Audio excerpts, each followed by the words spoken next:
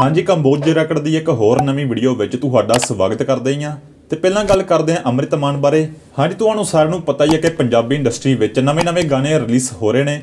ਤੇ ਉੱਥੇ ਤੁਹਾਨੂੰ ਸਾਰਿਆਂ ਨੂੰ ਦੱਸ ਦਈਏ ਕਿ ਅੰਮ੍ਰਿਤ ਮਾਨ ਦੇ ਵੱਲੋਂ ਆਪਣੇ ਨਵੇਂ ਆਉਣ ਵਾਲੇ ਡੁਐਟ Song ਦਾ ਐਲਾਨ ਕਰ ਦਿੱਤਾ ਗਿਆ ਹੈ, ਜੋ ਕਿ ਸ਼ਿਪਰਾ ਗੋਇਲ ਦੇ ਨਾਲ ਹੈ। ਤੇ ਇਸ ਗਾਣੇ ਦਾ ਨਾਮ ਹੈ 10 ਆਊਟ ਆਫ 10 ਤੇ ਇਹ ਗਾਣਾ ਵੀ 25 ਨਵੰਬਰ ਨੂੰ ਰਿਲੀਜ਼ ਕੀਤਾ ਜਾਣਾ ਹੈ। ਅੱਗੇ ਵਧਦੇ ਹੋਏ ਗੱਲ ਕਰੀਏ ਤਾਂ ਤੁਹਾਨੂੰ ਸਾਰਿਆਂ ਨੂੰ ਪਤਾ ਹੀ ਹੋਊਗਾ ਕਿ ਕੱਲ ਹੀ ਕਰਨ ਔਜਲਾ ਦੇ ਵੱਲੋਂ ਇੰਸਟਾਗ੍ਰam ਉੱਤੇ ਕੁਝ ਸਟੋਰੀਆਂ ਸ਼ੇਅਰ ਕਰਕੇ ਕਿਹਾ ਗਿਆ ਸੀ ਕਿ ਤੁਸੀਂ ਮੈਨੂੰ ਇੰਸਟਾਗ੍ਰam ਉੱਤੇ ਸਬਸਕ੍ਰਾਈਬ ਕਰ ਸਕਦੇ ਜੋ ਤੇ ਜਿਨ੍ਹਾਂ ਲੋਕਾਂ ਨੇ ਮੈਨੂੰ ਸਬਸਕ੍ਰਾਈਬ ਕੀਤਾ ਹੋਊਗਾ, ਉਹਨਾਂ ਲੋਕਾਂ ਨੂੰ ਮੇਰੇ ਗਾਣੇ ਪਹਿਲਾਂ ਸੁਣਨ ਨੂੰ ਮਿਲਣਗੇ ਤੇ ਉਹਦੇ ਤੁਹਾਨੂੰ ਸਾਰਿਆਂ ਨੂੰ ਦੱਸ ਦਈਏ ਕਿ ਕਰਨ ਔਜਲਾ ਦੇ ਵੱਲੋਂ ਆਪਣੇ ਸਬਸਕ੍ਰਾਈਬਰਸ ਲਈ ਇੱਕ ਰੀਲ ਵੀਡੀਓ ਸ਼ੇਅਰ ਕੀਤੀ ਗਈ ਹੈ, ਜਿਸ ਵਿੱਚ ਔਨ ਟੌਪ ਗਾਣਾ ਪਲੇ ਕੀਤਾ ਗਿਆ ਹੈ ਤੇ ਇਹ ਪੂਰਾ ਗਾਣਾ 25 ਨਵੰਬਰ ਨੂੰ ਰਿਲੀਜ਼ ਹੋਣਾ ਹੈ। Thank you so much subscribe ਕਰਨ ਲਈ।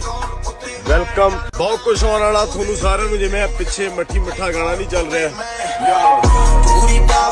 ਇਦਾਂ ਹੀ ਬਹੁਤ ਲੈਣਾ ਐਕਸਕਲੂਸਿਵ ਵੀ ਨੂੰ ਮਿਲਣੀ। ਬਾਕੀ ਇਸ ਵੀਡੀਓ ਵਿੱਚ ਬਸ ਇੰਨਾ ਹੀ ਤੇ ਕਰਨ ਔਜਲਾ ਤੇ ਸ਼ਾਹਿਦ ਕਪੂਰ ਵਾਲੀ ਵੀਡੀਓ ਦਾ ਲਿੰਕ ਡਿਸਕ੍ਰਿਪਸ਼ਨ ਵਿੱਚ ਦਿੱਤਾ ਹੋਇਆ ਹੈ। ਲਿੰਕ ਤੇ ਕਲਿੱਕ ਕਰਕੇ ਵੀਡੀਓ ਨੂੰ ਚੈੱਕ ਜ਼ਰੂਰ ਕਰਿਓ। ਚੰਗਾ ਜੀ, ਮਿਲਦੇ ਹਾਂ ਅਗਲੀ ਵੀਡੀਓ ਵਿੱਚ। Thank you